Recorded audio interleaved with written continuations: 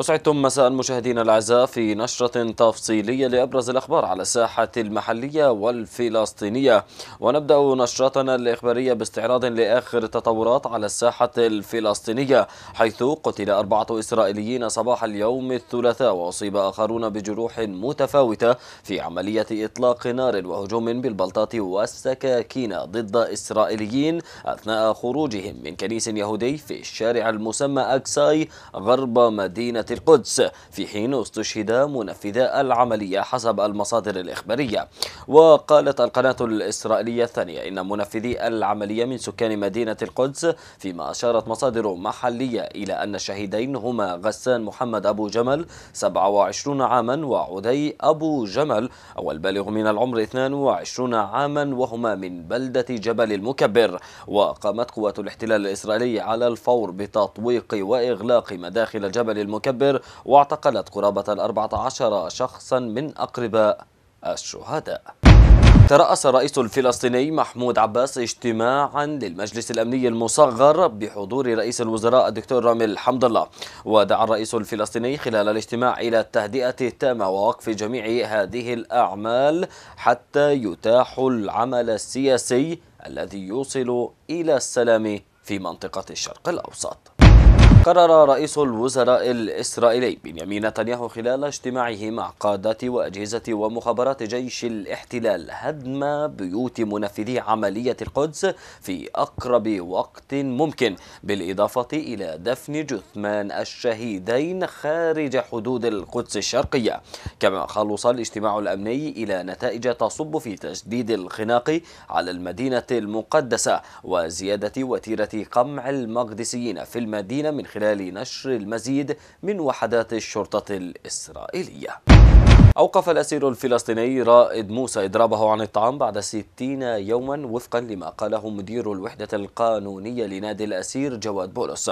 وجاء ذلك عقب زيارة بولس للأسير موسى في مستشفى بيرزالاي ونقل له قرار محكمة الاستئنافات العسكرية للاحتلال في عوفر والتي أصدرت قرارا بالإفراج عن الأسير موسى في الواحد والعشرين من الشهر القادم للعام 2014 وفي الانتقال للأخبار الكرمية على الصعيد الكرمي ضمن ما جاء في برنامج الكرم اليوم نظم أهالي الأسرى اعتصامهم الأسبوعي أمام مقر الصليب الأحمر مطالبين العمل الجاد للمؤسسات الحكومية والدولية. العمل على الإفراج عن أبنائهم وخصوصا الإداريين منهم في ظل قرارات إسرائيلية تقضي بزيادة الحركات التعسفية والإجراءات الممنهجة من قبل إدارة السجون ضد أبنائهم في سجون الاحتلال. الحمد لله أنا كنت دائما مطمنة من قبل بس إلي فترة انقطعت. أما لما ردوا أخذوا حمزة جديد له تسع أيام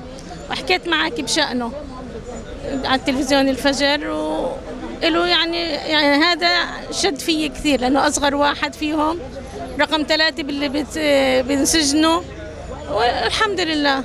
هي دربنا نمشي عليه. وهذا صباح مقاومة اليوم صباح المقاومة صباح العز والشرف والحمد لله.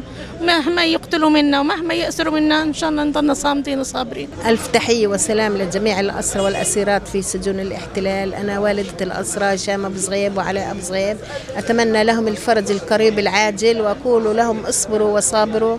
إن الله مع الصابرين. لا بد لليل أن ينجلي ولا بد للقيد أن ينكسر. ومن عنا جميع الأهل والأقارب والجيران يهدوهم ألف حمل سلام. وشكرا للتلفزيون الفجر الجديد. يعني آه، تحية بداية لأسرانا وأسيراتنا البواسل في سجون الاحتلال. هذا التضامن الأسبوعي مع قضية الأسرة قضية مهمة قضية مفصلية قضية تهم كل الشعب الفلسطيني. يجب أن يكونوا هدول بين أهلهم في بيوتهم آه، أن يكونوا أحرار. آه، ومن يجب أن يحاكم؟ من قتل يوسف الرموني ومن قتل أبو خضير. هؤلاء المجرمين الذين يقتلون بدم بارد. على الحكومة الإسرائيلية أن تحاكمهم وتطبق القانون عليهم لأن القانون مش يجب أن يطبق على طرف دون الآخر أن يطبق على الجميع بلا استثناء. هناك قضية حية وهي قضية هامة وهامة جدا تهم كل فلسطيني. لابد من البحث في آليات آه، أخرى للتعبير عن وقوفنا مع الأسرى آه، من خلال الزيارات المباشرة. لذوي الأسرى ورفع معنوياتهم. هذا أمر غاية في الأهمية وهذا آه، يرتب على الفصائل آه، والشخصيات والمؤسسات ذات العلاقة يرتب مسؤولية بهذا الاتجاه. وكذلك نحن في المحافظة لابد من أن آه، يكون هناك تواصل مع أبناء الأسرى مع ذوي الأسرى وبنفس الوقت لابد من أن تفعل القضية آه، بشتى الطرق. برنامج طول كرم اليوم يأتيكم برعاية شبكة مطاعم هني هني خلطتنا لها مذاق لا يقاوم. نظمت جبهة النضال الشعبي في محافظة طول كرم ندوة سياسية تحت عنوان الوضع السياسي الفلسطيني الواقع والتحديات بمناسبة الذكرى العاشرة لاستشهاد الرئيس الراحل ياسر عرفات والذكرى السادسة والعشرين لإعلان وثيقة الاستقلال وذلك في قاعة النضال بمدينة طول كرم. يعني عندما نتحدث عن ياسر عرفات نتحدث عن فعلا باعث الهوية وباعث الوطنية الفلسطينية فهو أب الوطنية. هذا الرجل الذي قاد أعظم ثورة في التاريخ. اليوم تنظم جبهة النضال الشعبي الفلسطيني في محافظة طول كرم ندوة سياسية هامة إحياء لذكرى العاشرة لاستشهاد القائد الرمز ياسر عرفات وأيضا إحياء لذكرى إعلان وثيقة الاستقلال الفلسطيني الصادرة عن دولة المجلس الوطني الفلسطيني في الجزائر.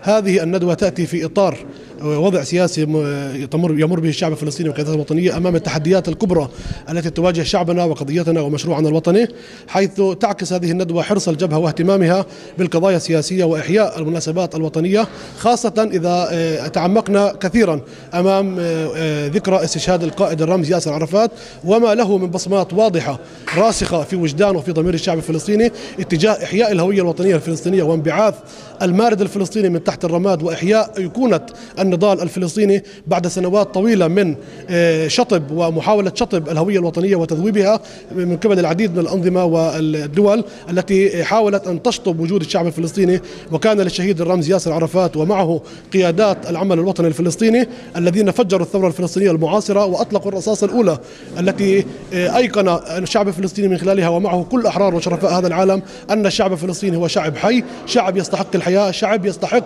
أن آه، ينال حقه في تقرير المصير وفي إقامة دولته المستقلة وعاصمتها القدس برنامج طول كرم اليوم يأتيكم برعاية شبكة مطاعم هني هني خلطتنا لها مذاق لا يقاوم.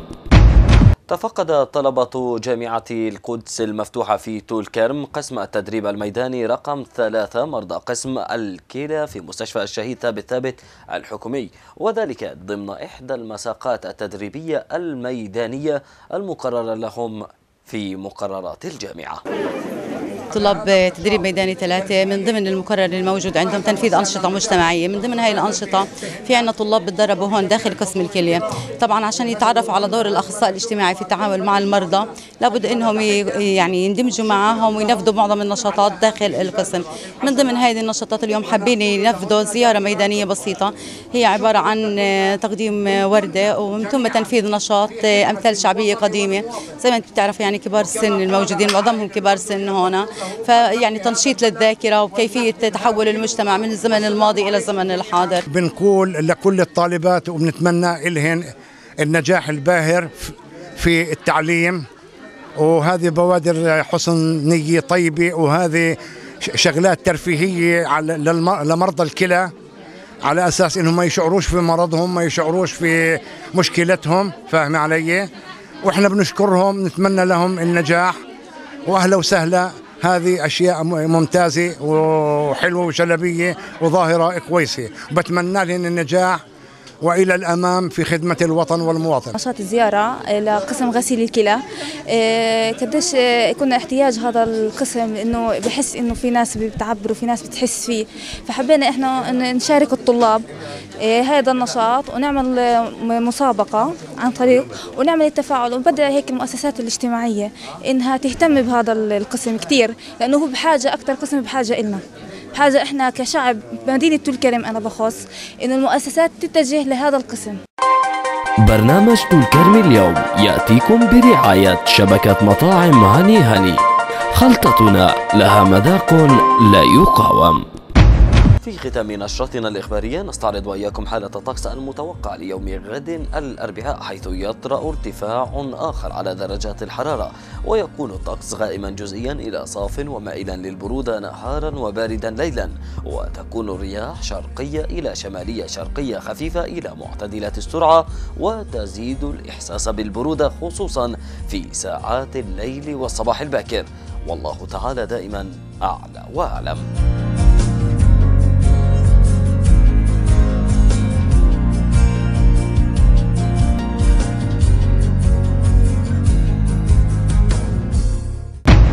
في الختام أطيب المشاهدة نتمناها لكم عبر شاشة الفجر الجديد. لمزيد من الأخبار والتفاصيل القصص والمنوعات زوروا موقعنا الإلكتروني الفجر TV dot com. نهاية النشرة. إلى اللقاء.